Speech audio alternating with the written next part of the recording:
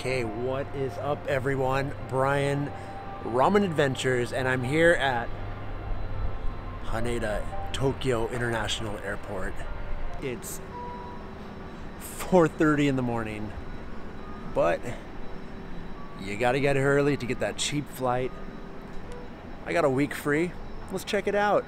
Go to Taiwan for some Japanese ramen. I don't know. Gonna check out some ramen, check out some beef noodle. Yeah, taking a trip. Let's do this.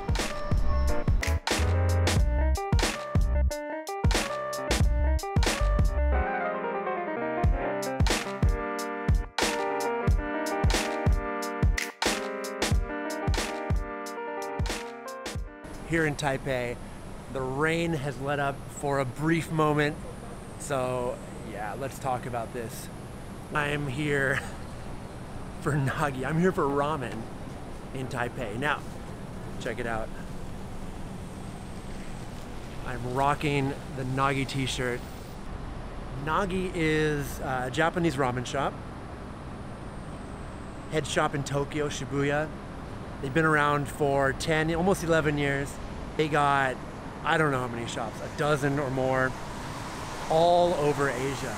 Absolutely killing it. And for me, this is awesome because Nagi was a shop that is really important in my kind of ramen adventure, my ramen journey. You know, when I started blogging about ramen uh, eight and a half years ago, I would go to the original Nagi once a week. And back then they only had the one shop in Shibuya. And it was good ramen, not super popular. There was no line or anything. Sometimes I'm all alone. And I would slurp every week. And uh, that pushed me to explore the ramen scene more and more. So that's kind of what started my journey, what started my ramen adventure was, was Nagi actually. For me, yeah, Nagi is uh, one of the most important shops of shops I like. And uh, yeah, let's check out their branch here in Taipei. Let's see if it holds up. I think it does. I don't know. Let's try it.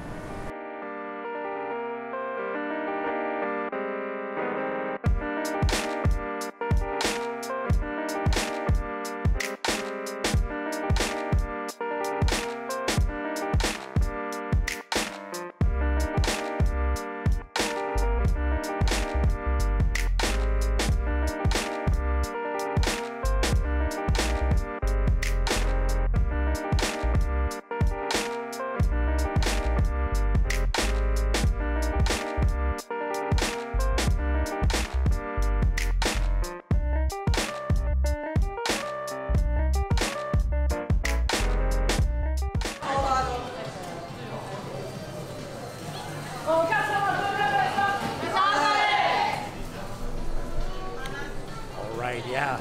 Big, big spot in here. Lots of seats. I'm gonna sit right here. All right, it's Nagi time.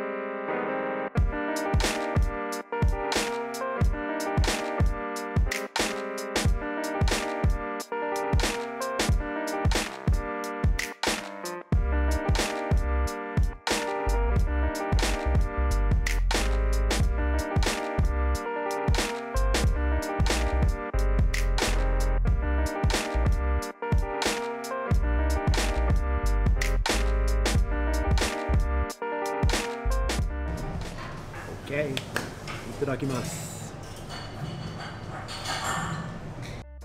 Nagi's signature butao pairs thin Hakata-style noodles with a white pork soup. Standard tonkotsu ramen toppings, including big thin slices of chashu. The soup is hit with a lot of seabura, pork back fat, to give it another level of richness.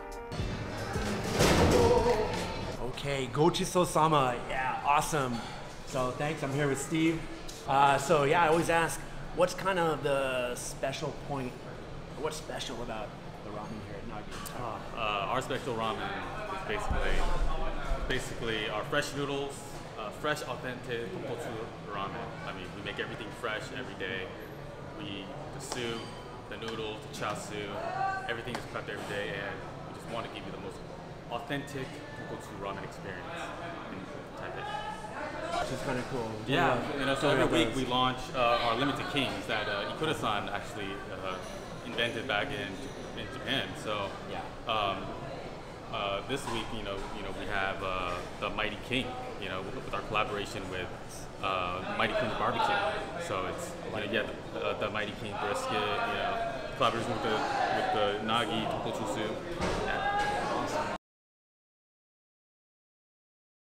So yeah, one of the special things here, they have a limited bowl, changes all the time. Who knows what it is?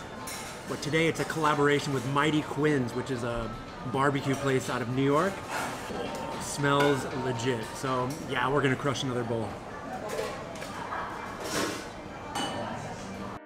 Nagi constantly has a limited bowl on the menu called the Limited King. I just happened to be there for the Mighty King, a collaboration between Nagi and Mighty Quinn's Barbecue from New York. This one features Nagi's creamy tonkotsu ramen topped with smoked beef brisket.